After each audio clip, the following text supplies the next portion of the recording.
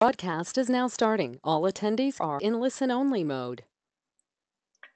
Hi everyone, um, and welcome to the CECAN webinar. My name is Martha Bicket. I'm a CECAN researcher based at Policy Studies Institute in London, um, and I'm going to be chairing today's webinar with Dr. Gill Westhorp. Uh, for those of you who haven't joined us before, a quick introduction to CECAN. CECAN stands for Centre for the Evaluation of Complexity Across the Nexus. We're a research centre funded by a group of UK research councils, government departments, and agencies. Our aim is to test and promote innovative, uh, innovative evaluation methods, um, methods that take into account and are appropriate for the complexity of the world around us. We're looking in particular at nexus issues, so those are the interlinked areas of food, energy, water, and the environment. You can find out more about the work we're doing on our website, cecan.ac.uk. Um, and there you can also sign up to our newsletter and follow us on Twitter at CECAN Nexus. So today's webinar is on complexity theory and invisible mechanisms and their implications for methods and commissioning. Uh, our speaker is Dr. Gill Westhorp, who leads the Realist Research Evaluation and Learning Initiative, or REALLY for short, a Centre for Excellence in Realist Methodologies, uh, and that's at Charles Darwin University in Australia. So Gill's going to speak to us for around 45 minutes, and then we'll have 15 minutes for Q&A. Uh, please do submit your questions for Gill via the question box, uh, which you should be able to see on the GoToWebinar control panel, which popped up when you joined. Um, as chair, I'll then pose those questions to Gill in the Q&A, uh, so please do get typing. Feel free to submit those questions at any point during the webinar today, all the way up to the very end. The session will be recorded and uh, assuming everything goes to plan, it should be made available on the CECAN website afterwards. So uh, it's my great pleasure to pass you over now to um, Gill Westhorp. Gill, over to you. Thank you very much, Martha. Um, hopefully at about this point you can see uh, my screen. Martha, are you able to confirm that for me? Yeah, that looks great, Gill. Thanks. Okay, good. Um, good morning, everyone who's over on that side of the world, and good evening, everyone who's over on this side of the world. Um, it's a great pleasure to be with you um, tonight. Um, for those of you who haven't met me before, um, I'm largely a specialist in realist research and evaluation. Uh, but I've had a long history of interest in complexity and complexity theory. And one of my areas of interest is in how we bridge across the ideas of um, complexity theory and uh, realism. And that's the origins and, and the background for uh, this presentation. Um, there are really two big ideas that I want to grapple with in this um, presentation. One of them is the idea of simple rules, which comes from complexity theory. It's part of the theory of emergence, um, and whether or not we can consider simple rules to be mechanisms.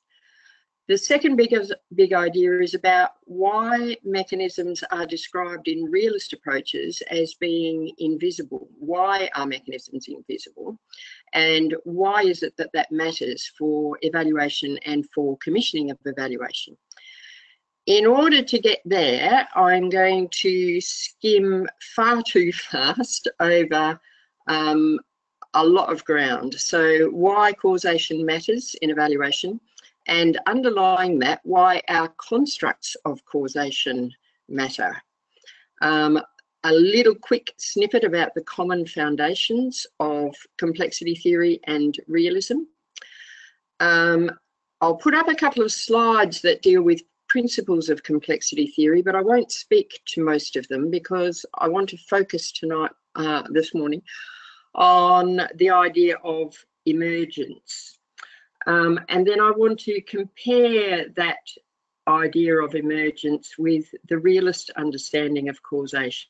And by bridging across the two, think about what it is that we need to do or how we need to think if we are going to treat simple rules as mechanisms. Then I'm going to skip across to this idea about why mechanisms are invisible and why that matters for our methods. Um, and if we've got time, I'll do a, a quick thought experiment that looks at the idea of um, simple rules uh, in consensus building in coalitions. It's my gut hunch that a lot of um, programs operating across the nexus also operate through coalitions, and this might therefore be relevant to quite a lot of people. Um, and then, of course, a quick summary at the end to tie it all together. So the first little bit is just setting the ground and I'm going to skim through it really quickly because I'm assuming that we all agree that causation matters in evaluation for a number of different reasons. Firstly, uh, in relation to program purpose, all programs are in fact causal. They're, they are trying to cause something to be different, to cause change or steer change. Uh, it's important because if we understand how our programs work, i.e. by what causal processes they work, and in what circumstances those causal processes work or don't work, then we can use that information to um, improve effectiveness and to enable us to adapt programs to context if we understand what's most likely to work, how and why it works, then we can also um, work towards greater cost effectiveness. And of course, there's the issue of accountability. If we want to be able to attribute change or a proportion of a change that we're seeing to a program, then understanding how the program got there, how it caused its outcomes, is one of the arguments that we can use to claim attribution. Um, so if those are the reasons why causation matters in evaluation, why does the nature of our theories of causation matter? Well, the first argument I think is that general theories of causation underpin the specific theories of causation in our programs. Um, our theories and beliefs drive our decisions and actions, and therefore, if our theories are wrong, our decisions and actions might be as well. And of course, just as with any element of the program itself, our theories guide what we measure. And I'm going to come back to that uh, in terms of the implications for evaluation a bit later on. So uh, this little bit is about the common underpinnings of complexity theory and um, realism. Complexity theory, of course, is one form of um, systems theory, and both complexity theory and realism um, share some aspects of systems theory. Of critical importance to the arguments that I'm going to be making today um, is that every system is comprised of a number of subsystems. We've got the individual human there on the left of the screen being comprised of a whole bunch of subsystems and each of those subsystems is in turn made up of smaller um, systems um, and so on. Meanwhile, however, of course, everything is also, every subsystem or every system is also part of a larger system. Our individual human might be part of a family uh, with children who attend a school, which is part of an education system, which is part of a wider socio-political economic system, etc., etc.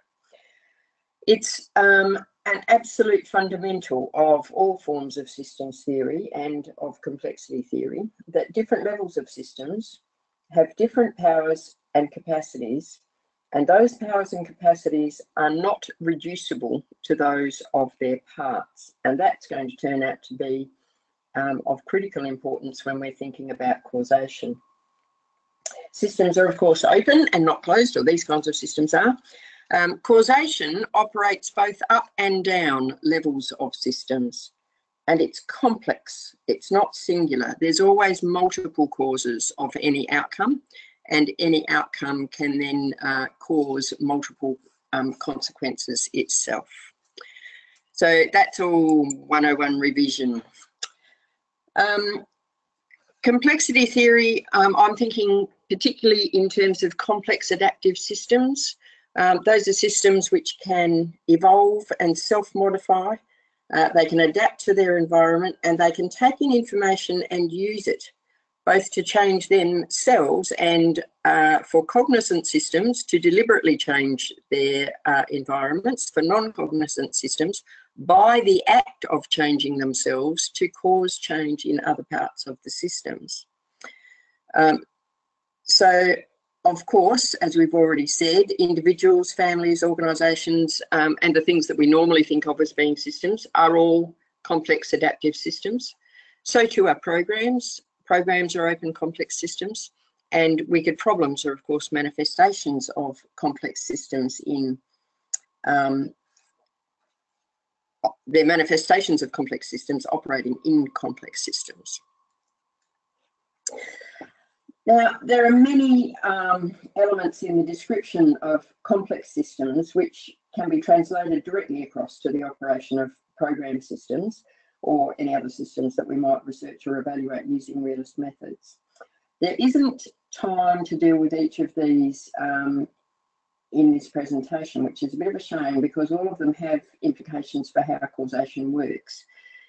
Interdependence, multidimensionality, coevolution, and self-similarity all, in slightly different ways, imply that if you change one part of a system, other parts of the system will also be uh, affected and will also change.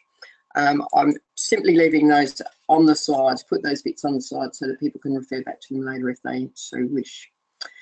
Um, similarly, non-linearity is really important in terms of programs and program evaluation. Um, it rather calls into question the idea of um, program dose. Historicity shapes the context and the options that are available for change.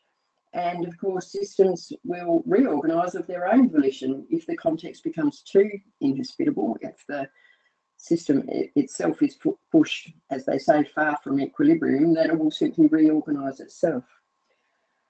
But the principle that I'm focusing on in this presentation and that I'm most interested in is that of emergence, the idea that interactions between local actors or local elements of a system following quote unquote simple rules, that's the key idea here, generate new forms of, of organisation or complex patterns of outcomes at higher levels of the system. Came across a nice quote for that today uh, in an article that um, I'll draw on if we get time to do the thought experiment. Emergence is the idea that simple elements that are governed by a few simple rules, and here are the new bits, operate through trial and error with interaction and feedback, all really critical bits of the definition, can produce persistent and systematic patterns that are quite unlike the original elements. Now, of course, there are different types of simple rules when you're talking about different types of systems or different levels of systems. For conscious actors like humans, um, the simple rules can be decision-making rules. And um, the actors can, of course, also change the rules and thereby change the outcomes. For the few people who might be online who aren't already familiar with it, um, the um, simple example of simple rules comes from a computer simulation called the Boids, where um, Boids are computer simulated birds. Um, and the simulation is of the flocking behaviour of birds. And um, what the programmers did was program in three simple rules.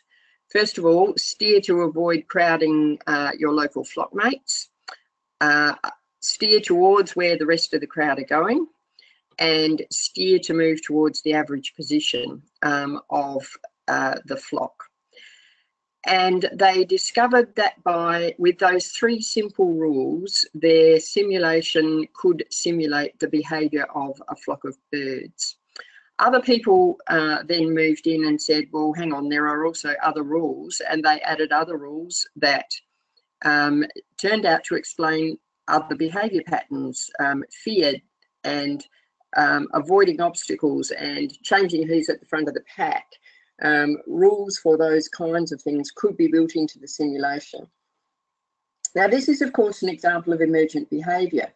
The complexity of the behaviour of the Boids arises from the in interaction of the individual agents um, following a simple set, a set of simple rules, a simple set of simple rules.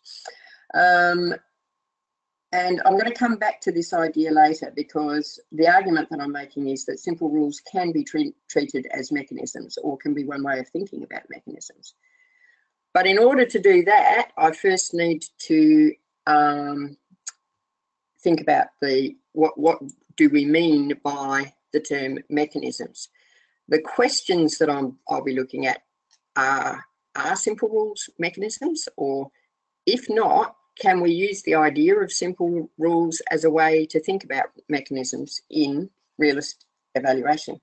So in order to get there, um, quick re recap on realism's understanding of causation. The philosophical understanding of how causation works in realism draws in large part on the work of uh, Roy Bhaskar. Um, this is an oversimplification of his idea of um, depth ontology or a different way of thinking about layers in reality. At the top level, we have that um, which is described as being the empirical level. It's things which can be observed or experienced.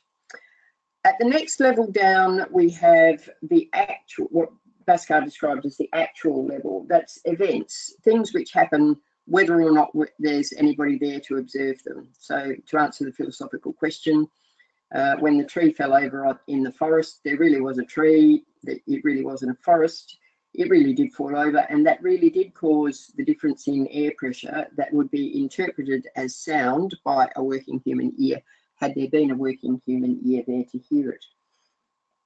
And then underneath that level, there is the level that um, is often described as the real, although actually the real subsumes the actual and the empirical as well. But that is the level at which mechanisms operate. And mechanisms, simply described, is that which causes that which happens. Um, and it is for a realist just as real as the events or the existences that operate at the level which can be observed um, and that which is observed. We don't, for example, actually see capillary action drawing water to the top of a tree, but it's happening even though we can't see it and it's real and it's part of the causal process for the tree growing and surviving. What Pawson and Tilley did um, when applying this to evaluation was to think about this idea of invisible mechanisms and ask what is it that's going on that we can't see that causes the program outcomes. And they came up with this notion of program mechanisms being an interaction between the resources, opportunities, or constraints that are provided by programs um, influencing the something inside the heads of decision makers along the way. So that might mean staff or it might mean eventual participants or whatever. But in some way, what's being provided by the program is influencing things that go on inside human heads, which changes the decisions or the choices that they make, which leads to new behaviours. Um, and that's what generates the different outcomes. Um, they also said that, like all mechanisms, um, program mechanisms only operate if the context is right. And so they thought about what are the sorts of contexts that affect program me mechanisms. Well, there's all sorts of things about the contexts in which and processes through which programs are implemented. There's all sorts of things about the individual, their individuals, their culture, gender, resources, history, previous experiences and whatnot. There's all sorts of stuff about the circumstances, the politics, the economics, the stability, the violence, whether or not there's a drought or a flood, etc., etc., and the opportunities and resources that um, that are required to enable different decisions to be implemented. And it's that interaction between contexts and mechanisms that generates the patterns of program outcomes. And the word patterns is in um, capitals, bold capitals there, because realists are not particularly interested in the average outcome. We can tell you that, and it does have a purpose, but we are much more interested in understanding how and why we see different so sorts of outcomes in different contexts. So how do we bridge across from the realist understanding of causation and the complexity theory um, understanding of causation as simple rules. Both realism and complexity understand causation as involving processes at one level of a system that generate outcomes at another level of the system. Both approaches recognise context as being absolutely critical. Realism says, as we've just seen, that underlying invisible causal mechanisms generate the outcomes. Simple rules structure the behaviours which generate outcomes at higher levels of a system and changing the rules changes the outcomes at the higher level of the system. And therefore, I argue that simple rules can be understood as mechanisms generating outcomes at a higher level of the system.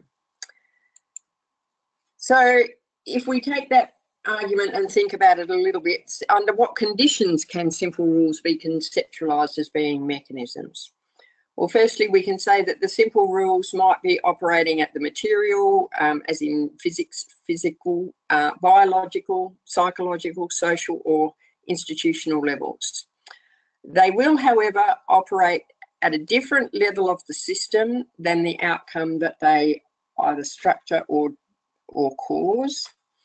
Um, and that the sim what the simple rules actually do is structure interactions or processes which cause or contribute to either the nature of or the extent of outcomes. And those simple rules are applied according to context, but they do have some continuity across sets of circumstances. So even in the Boids example, um, we've got one rule, simple rule saying don't crowd your flock mates, and another rule saying head in the same direction and stay close into the centre. And you have to apply both those simple rules um, at the same time to um, generate the successful flocking behaviour of birds, where they do all head in the same direction, but they don't knock each other out of the sky.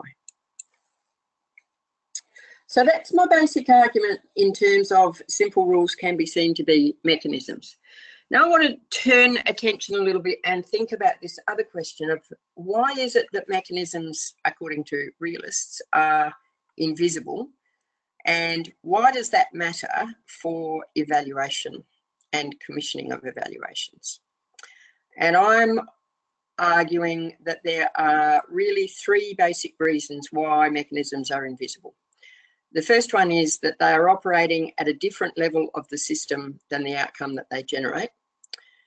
The second is that they operate at different time scales than the outcome that they generate. And the third reason is that they necessarily depend on relationships and interactions between components that may or may not be observable, um, at least with currently available instruments and processes. And what I'm going to do is take each of those reasons why mechanisms are invisible in turn, explain them a little bit more, and then talk about their um, implications for evaluation and commissioning. So the first idea was that mechanisms are invisible because they're operating at a different level of the system than the outcomes that they generate. And Bhaskar gives the example of the neurophysiological organisation of human beings may be said to provide a basis for their power of speech. Uh, we also see in other realist um, writings that um, causation is understood to work downwards as well as upwards um, because every level of a system causes and or constrains other levels of the system. And absolutely critically for this, uh, for what follows, every level of a system has its own powers and liabilities, which may cause effects at other levels of the system. And remembering our basics of systems theory and complexity theory, those powers and liabilities are not reducible to the component parts, even though they may depend on the component parts and the organisation of those component parts. So what does that mean for evaluation? Well, it means to understand causation, we must necessarily investigate levels of systems other than that should say, other than that at which the outcomes of interest are occurring. Um, now, depending on how we've conceptualised the system, the causes might in fact actually lie in a different system entirely, and we have to think about that when we're deciding where we're drawing the boundary of the system that we are considering to be in scope for the evaluation. It also means, however, that investigating different levels of systems might require very different methods or tools. If you're thinking about um, the physical operation of mechanisms in the um, environment in terms of food or climate, those require very different kinds of um, investigation than the investigation of um, human decision making, for example. And by uh, logical implication, reasoning and resources, the Pawson and Tilley construct of program mechanisms, won't be appropriate for some levels or some kinds of systems. And so we're going to need different constructs of mechanism if we're going to be able to investigate causation at multiple levels of systems. So what might some of those other ways of conceptualising mechanisms be? I've said for some time that there are at least five ways to think about mechanisms. Um, now I'm adding the idea of simple rules as mechanisms, um, so saying six ways to think about mechanisms. And one of my criteria for thinking about mechanisms is that um, for it to be a causal mechanism, you should be able to see how it could operate at multiple levels of a system. So we can take um, Pawson and Tilley's idea of reasoning and resources and we can say, yep, we could look lower down into the system and see, for instance, within humans, um, at a physical, um, material or chemical level, we could investigate the way that neurons fire or don't and the chemicals that are involved in that process we can look into inside the human's thinking, the psychological and or affective level, uh, and think about the logic in use. Uh, we can think about how groupthink influences decision making in committees, for example, and or we can think about how norms operate at the societal or institutional level. So I use those four levels of um, physical, intra-individual, group or social, and societal or institutional to think about can I think about how these mechanisms operate at different levels? These, these constructs operate at different levels. So then I read a whole lot of ways that different authors have described um, mechanisms or tried to explain mechanisms and discovered that there were at least four different explanations other than Pawson's and Pawson and um, there was a description of forces. Now, forces are things that either push or pull. Um, and so at the material level, we've got gravity. At the intra-psychological level, love pushes or pulls us to do lots of different things. The social level, so too does peer pressure. At the social level, we can think about laws which operate to prompt or constrain um, behaviours. Another way that people described mechanisms was as interactions, a transfer of some kind between um, two elements that in some way results in a changed state. So the classic material example is gunpowder and the explosion. But you can also think about um, contracts. Uh, I buy a house, today I've got um, new powers and responsibilities, powers and liabilities that I didn't have yesterday after I bought the house as a result of this um, contract, uh, this interaction. Or you can think about the way that new technologies are creating new market systems, for example, that involves a whole set of interactions at different levels of systems. The most typical um, kind of pure realist understanding of mechanisms is the idea of powers and liabilities, the inherent abilities and weaknesses of things, whether or not they are currently in use. So trees have the power to grow regardless of whether or not they actually do in a particular context. Humans have the power to learn. Groups have the power to make agreements. States have the power to make laws. Whether workers have the power to work, whether or not they're currently employed, and so on. And the other way um, was to think in terms of processes um, feedback and or feed forward sequences in which the later elements depend absolutely on the earlier um, processes in the sequence. So genetic inheritance or the process of a stock market crash are examples there. And now I'm adding this sixth way of thinking about mechanisms, which is to say simple rules which are physical or biological or social rules which structure reasoning in relation to reasoning and resources or which structure interactions or which structure processes and thereby shape the nature of the outcomes um, that are generated. So, okay, if we accept for the purposes of the argument that there are different ways of thinking about mechanisms, what does that mean for evaluation? Well, first of all, it implies that you need to choose a construct of mechanism that is appropriate for the particular causal process that you're investigating at that moment. And it, if it's a human decision making process, then reasoning and resources may well be appropriate. But if it's not, then you'll need some other construct. Uh, there might be different mechanisms within the same program or the same investigation um, that are best approached using different constructs. And because our theories guide our observations, the construct of mechanism that you use should alter the nature of the data that you collect in order to assess or measure whether or not that mechanism is actually operating. So if you're using Pawson and Tilley's construct of reasoning and resources, then you'll need to collect data about what the resource is and what the reasoning is uh, in response to that resource. But if you're using the construct of interaction, then you need to be thinking about what the elements that are doing the interacting are and what the nature of that interaction is and how it is that that interaction causes change. So you'd actually be collecting different data for uh, that different construct. Second reason why I said that um, mechanisms are invisible is that they operate at different time scales than the outcome of interest. Now, there are some mechanisms that operate exactly at the moment, or pretty well, at the moment that the outcome is generated. Um, the chemical interaction of gunpowder and the bang when it explodes um, are pretty close to instantaneous. But if you think about early intervention programs in child development, the short term outcomes take years to manifest. And in fact, outcomes can go on being generated across the life, lifespan.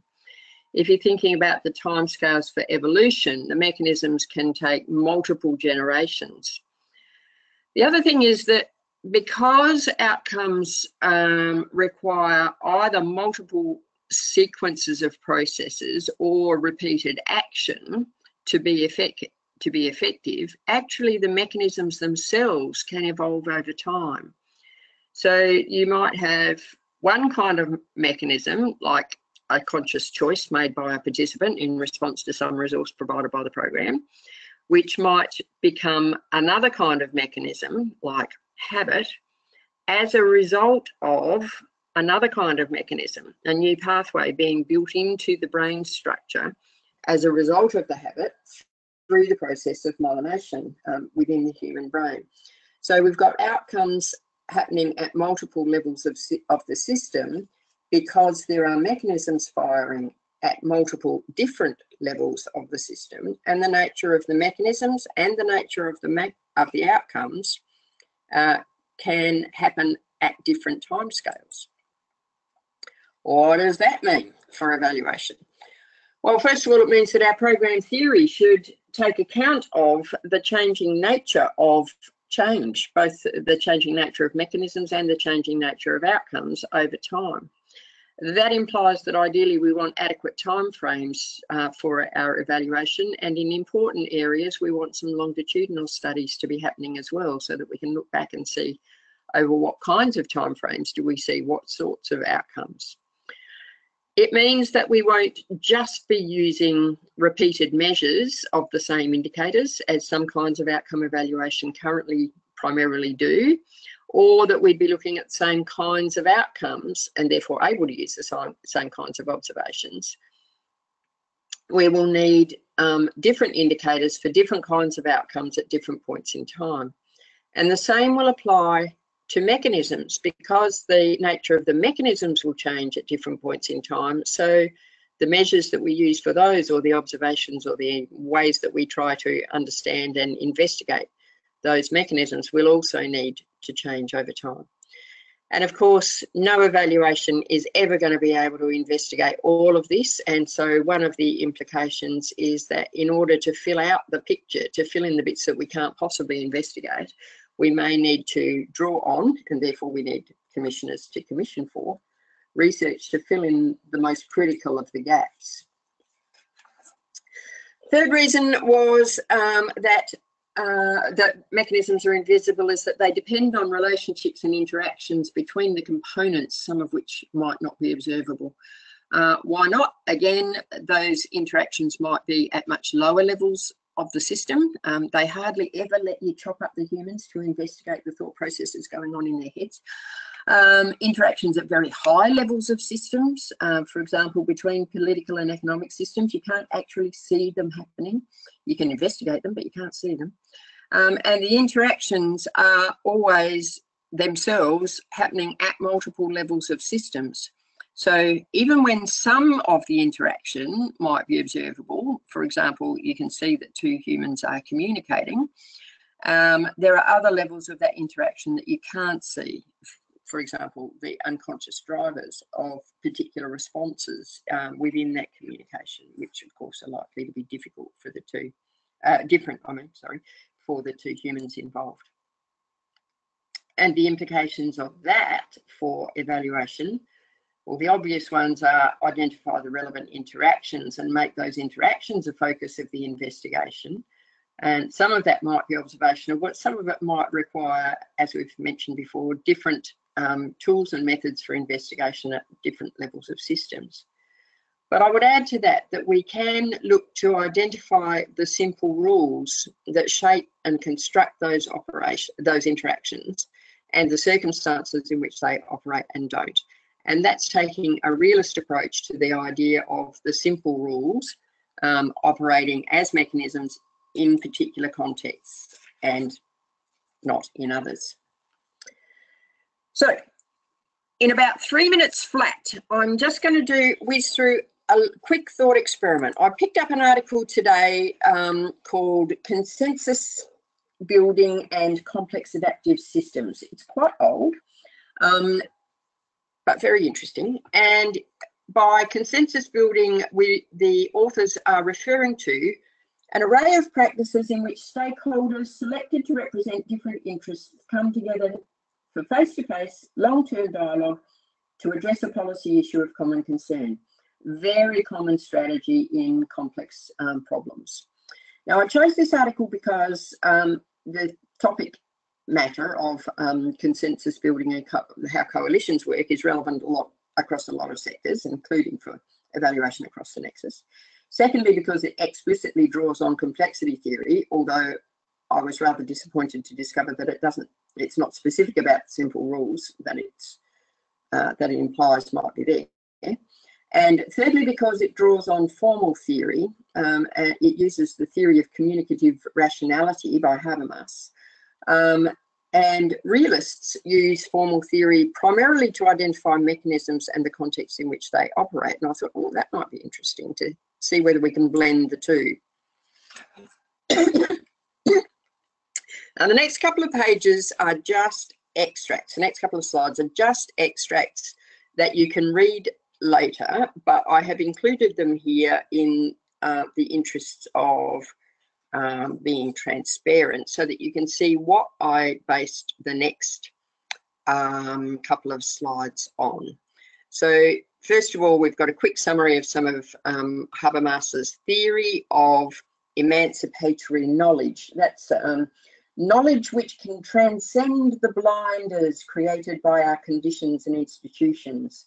This is a further quote from the article, of course. This type of knowledge is critical in a world of rapid change where our understandings and institutionalized ways of describing, thinking about, and measuring our world may not keep up with its changes. Communicative rationality represents an ideal, rather like that of scientific rationality, which is never fully achieved in practice, although it is a goal or template against which to research or judge. So we've got these ideas in here about the participants being equally informed, being listened to, being respected, power being shared, challenging of assumptions, and so on and so on. And we've got a series of statements about the longevity of um, the process and the way that the longevity contributes to the development of trust and sincerity. We've got a statement that re re relates to representativeness of the stakeholders. We've got a statement that relates to agreements built in these kinds of processes uh, being of good quality because they take into account the unique knowledge offered by each stakeholder. And uh, we've got a statement about um, discussions being focused on interests rather than arguments about predetermined positions. And the authors identify a whole series of what they call first, second, and third order effects, but which for um, most realist evaluations would be seen as being um, either mechanisms and outcomes or intermediate outcomes leading to higher level outcomes. I'm not going to go through all, through all of them, but it's quite interesting claims. And then what I did was I thought, okay, so how would a realist approach this? And I thought for some of those uh, elements, we as, real, as realists would describe those as context. So in the context where you've got all significant interests represented, this idea of simple rules, simple rule, be respectful, and be equitable in your communication. Simple rule, take into account the unique knowledge of all perspectives. Um, contribute to the generation of the outcome of intellectual property as identified in the right hand column. But then I thought, how do those simple rules actually work? Is there an underlying mechanism for the simple rules?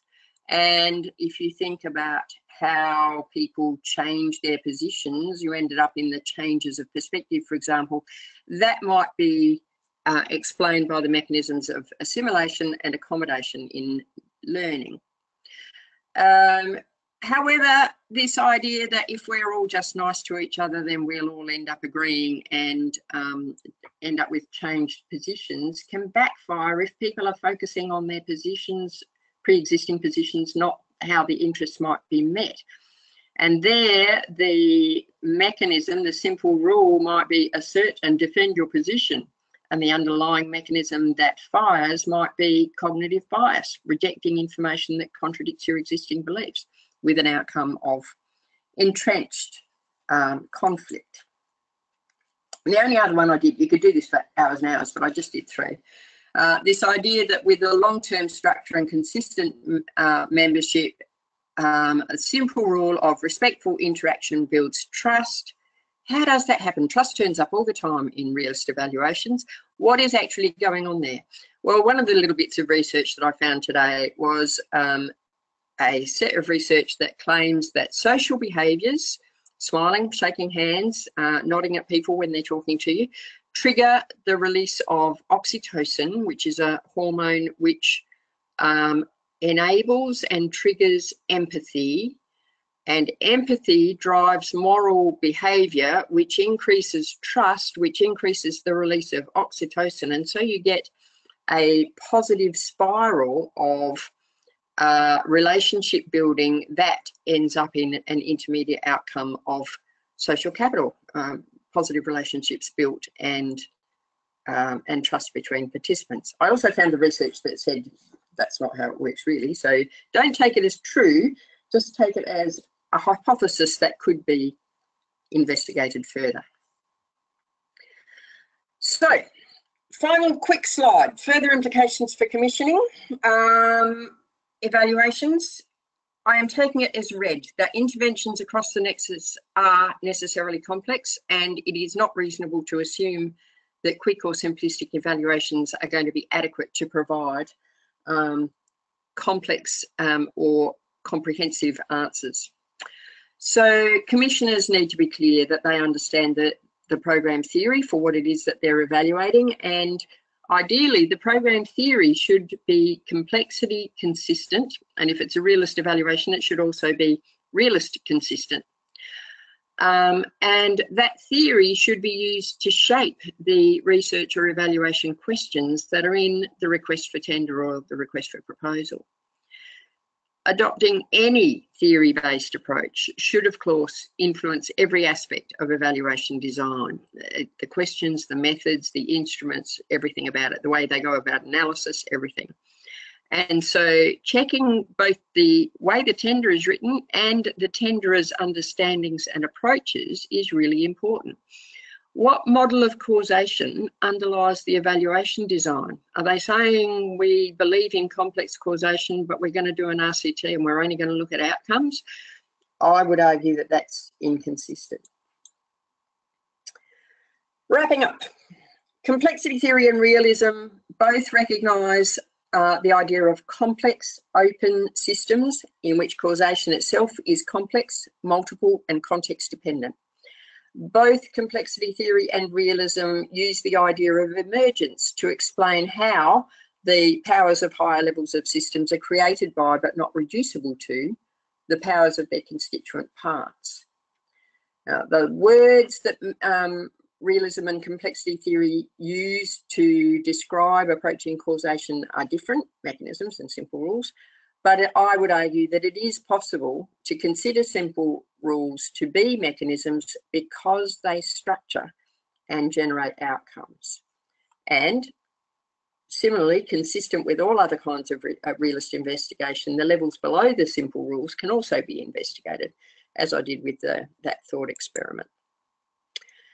There are, of course, multiple different ways, or I, I would argue it's, of course, not everybody agrees with that, different ways that we can approach the idea of mechanisms. The constructs that we choose should be appropriate to the nature and level of the system that we're investigating at that moment. And the ones that we choose have implications for the methods that we should use to investigate them. And regardless of the construct, mechanisms are generally invisible because they're operating at different levels of a system over different time scales and involving interactions that might not be observable. And each of those has specific implications for how causation should be investigated and therefore how evaluations should be commissioned. That's the end for now. Happy to uh, take questions. Brilliant. Thank you so much, Gill. Um, hi, everyone. This is Martha again we now have some time for questions and answers. So if you have any questions for Gill, please do type them in and send them over to me via the questions section, uh, which is in the GoToWebinar panel on your screen. I'll start off with a couple of questions that I received um, as you were talking, Gill. Um, so the first one is around these simple rules. Um, why must the rules be simple and what makes a rule simple? uh, they're very good questions. Uh, not ones that I've given a lot of thought to. Um, I think why the rules probably need to be simple, but I'm making this up off the top of my head, is that um, they are guiding decisions that are made um, kind of instantaneously. If you think back to the Boids example, it doesn't actually take complex rules to generate the complex pattern of outcomes um, you only need fairly simple rules. Now, I think a lot of the complexity that happens in social programs um, or in the social aspects of, for example, environmental programs, is that um, there are multiple levels of the system being guided by multiple rules. Um, and it's actually the interaction of many, many, many simple rules that makes it seem complex. What makes a rule simple? Good question. I think if you can say it in one sentence in simple words, that might be enough. Mm -hmm. uh, if it's got multiple phases to it or multiple levels, then it's probably complex. I don't know. That's just me thinking out loud. We'll go with that for now. Thank you very much. Um, the next one is please could you explain more how simple rules are different from forces? I think that's from in your description of types of mechanism. Yeah. Um, forces, the description that's used in the um, texts where I found that, it was usually people talking about things like gravity. Um, it's a force, but we can't see it. Now that it's been theorised and hypothesised, we're getting better at being able to measure it, but we still can't see it. So it was talking about these kind of invisible forces that push or pull things to happen. Um, simple rules, it's possible that some forces could be described as simple rules, um, but um, the simple rules that drive the Boids, for example, steer together with your flock mates but don't bump into them, for example, are not things that you would describe as forces. They are just guides to behaviour that can be overridden when the context is right if you get a big enough fright um, or there's a big enough obstacle that you need to avoid, then you change the rules. Whereas gravity as a force is not changed uh, by your immediate circumstances, she said carefully.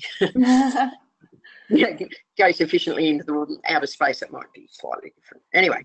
All right. Yeah. Um, Here's a third one for you. How are concepts of culture and tradition expressed as mechanisms in contexts of local emergence and complexity? Yeah, uh, usually, well, they can be described either as context or as mechanisms. So that's the first point. But when describing them as mechanisms, it's usually about identifying what the underlying cultural norm is and then how that uh, that relates to a particular behavior or a particular outcome. Um, and so um, there may, of course, be multiple norms operating concurrently to generate a particular outcome. Uh, but it's it's normally that way of thinking, I think, uh, of culture as being made manifest in norms, which you might think of as being rules for guiding behaviour, um, and they then play out differently according to both local uh, variations in the culture, but also according to the circumstances in which people find them at the time. So there are slightly different rules for how you behave in different circumstances in almost all cultures.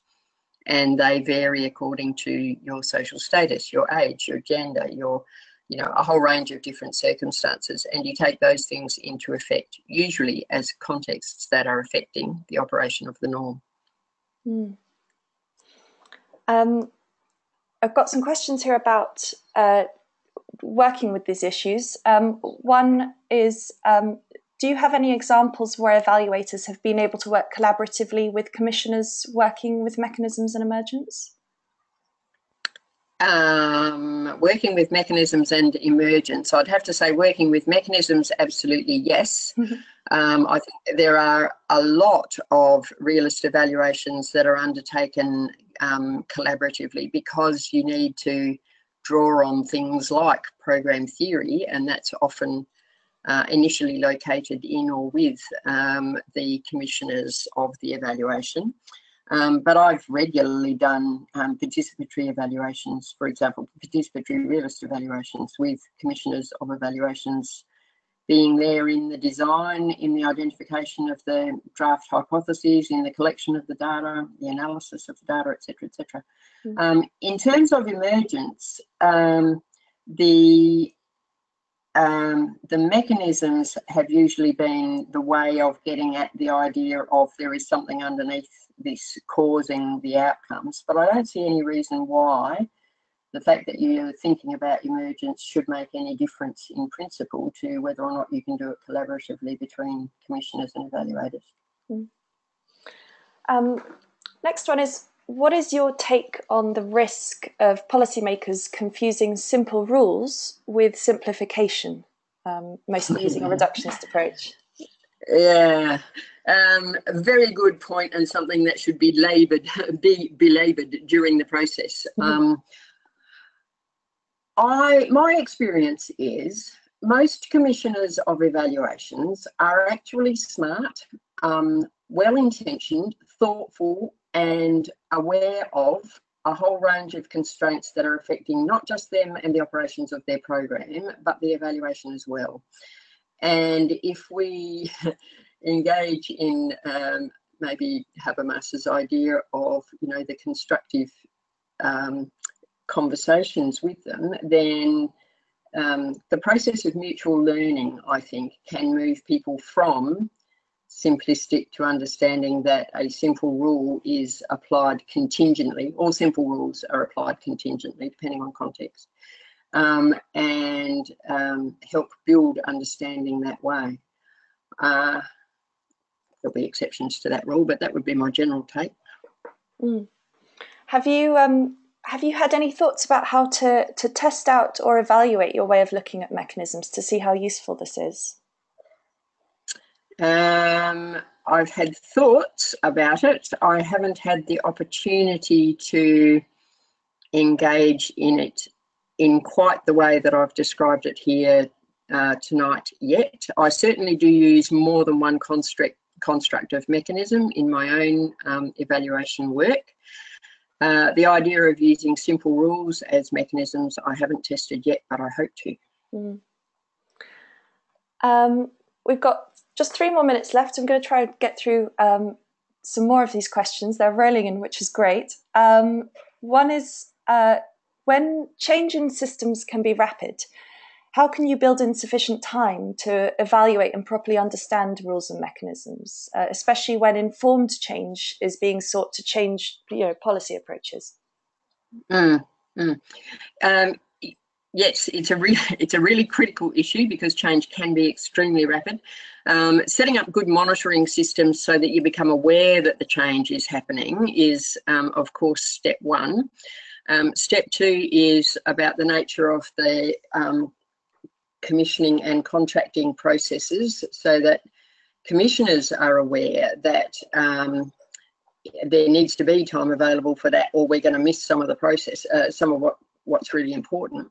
And the third is probably to build in some of the approaches that are used in things like developmental evaluation, where you don't necessarily write a full report at the end, you have much more engaged, much more rapid return, rapid uh, analysis of changing contexts and, and changing processes as well as you work through the process. Developmental evaluation was developed for interventions that are never going to settle down and take a final shape. But I think they it can be applied as well um, in relation to circumstances of rapid change where the, the context is changing rapidly. And there's no reason why you can't use um, realist approaches and, and complexity ideas. Complexity is already written into developmental evaluation. There's no reason why you can't do realist developmental evaluation as well. Mm. Um, and so I think one final question following on from that. Uh, to, to what extent does complexity require us to do evaluation in a new way, or do we just need to do the very best practice in evaluation where complexity is concerned? Well, I don't think I can answer that because it depends what your construct of very best practice is. Um, if you are trained in and believe in the model of RCTs, for example, as being the one true path to uh, understanding um, effect sizes of outcomes, then your model of best practice is going to be very different than your model of best practice if you're at heart a constructivist and most interested in trying to understand how participants in programs understand their experience in the program and why they make the decisions that they do. That's got a very different um, construct of best practice. So I think the models that you take and the philosophical underpinnings that each of them have absolutely should construct um, how you go about um, the nature of evaluation and what constitutes good practice. If your good practice was already largely complexity consistent, then this might not require very much change at all. Mm. All right, thank you very much, Gill, from me and on behalf of the participants um, for your time today and for the very interesting talk. Um, for everyone, we'll put the webinar recording and slides up on our website. Um, check the website to get in touch with anyone at CECAN, um, or we, or uh, hopefully we can um, get you in touch with Gill as well if you have any more questions. I'm sorry we didn't get time to answer all of the questions um, that were here today. It's been a very lively session. Thank you very much for everyone who participated. Um, that marks the end of our webinar today. Um, huge thanks again to you, Gill, and thank you to all of you listening who joined us today to take part. Goodbye. My pleasure. My pleasure entirely, and goodbye, everybody. Bye.